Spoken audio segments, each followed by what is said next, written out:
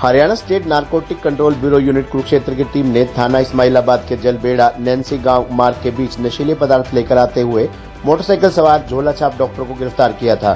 तलाशी के दौरान 17 किलो 200 ग्राम चूरा पोस्ट बरामद किया गया था। अदालत से मिले पाँच दिन के पुलिस रिमांड पर पकड़े गए झोला छाप डॉक्टर के घर से 14 किलो चार सौ चौवन ग्राम चूरा पोस्ट पुनः बरामद किया गया है। इस आरोपी से चूरा पोस्ट खरीदने वाले गाँव बोदनी वासी नरेश को भी गिरफ़्तार किया गया है। इस मामले का खुलासा करते नशीले पदार्थ माफिया की धरपकड़ के लिए अम्बाला रेंज के एडीजीपी श्रीकांत यादव ने कड़े निर्देश जारी किए हुए थे। एडीजीपी श्रीकांत यादव के निर्देश पर कुरुक्षेत्र नारकोटिक कंट्रोल ब्यूरो प्रभारी केवल सिंह द्वारा sub inspector Gurnam Singh ASI Neeraj, head constable Satish Azad Karamvir की टीम बनाकर झांसा इस्माइलाबाद के ग्रामीण एरिया की ओर भेजा गया।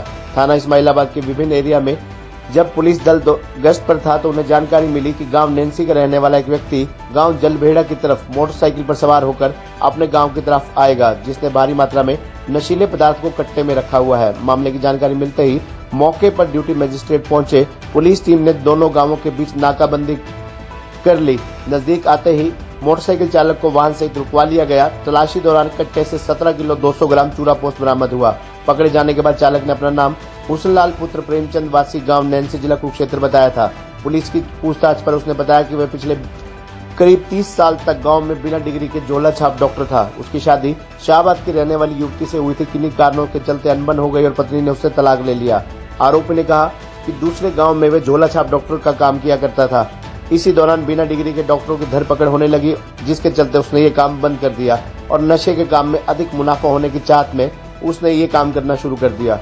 गाँव में कई लोग चूरा पोस्ट के नशे का सेवन करते थे। इसी नशे को बाहर से लाकर वह महँगे दामों पर बेचने लगा।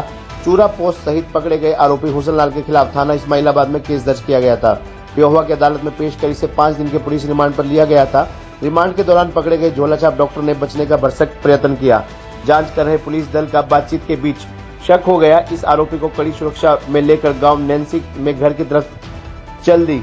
घर की तलाशी लेने को लेकर मौके पर ड्यूटी मजिस्ट्रेट को बुलाया गया। इनकी देखरेख में आरोपी को लेकर तलाशी ले, लेने का पता चल गया। खबरनामा हरियाणा की टीम घटनास्थल गाँव में जा पहुँची।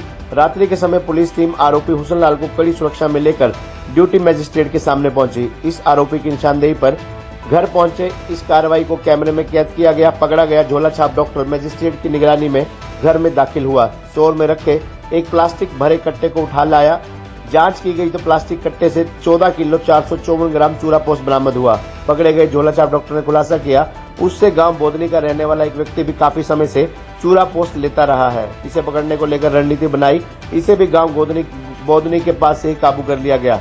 गिरफ़्तार में आने पर पूछताछ की गई। पुलिस को देख असलियत उजागर कर डाली उसने। अपना नाम बताते हुए उसने नरेश उर्फ़ नेकी पुत्र जय सिंह वासी बोधनी बताया। उसने कहा कि उसने हुसन लाल वासी नैन्सी ने अनेकों बार चूरा पोस्ट खरीदा, जिसे उसने बेच डाला, इसे भी गिरफ़्तार कर लिया गया। इस मामले में डीएसपी राजेश कुंदोला भी जानकारी लेने यूनिट में पहुँचे। दोनों आरोपियों को पिहोवा की अदालत में पेश किया गया। अदालत ने आरोपी नरेश को जेल भेजने के आदेश दिए। आरोपी हुसन लाल पाँच दिन के पुलिस रिमांड पर चल रहा है। इस आरोपी से मिले अहम सुराग पर तस्कर को पकड़ने के लिए अगले पड़ाव की ओर टीम जाएगी। खबरनामा हरियाणा के लिए क्राइम रिपोर्टर राजेश भारद्वाज की विशेष रिपोर्ट।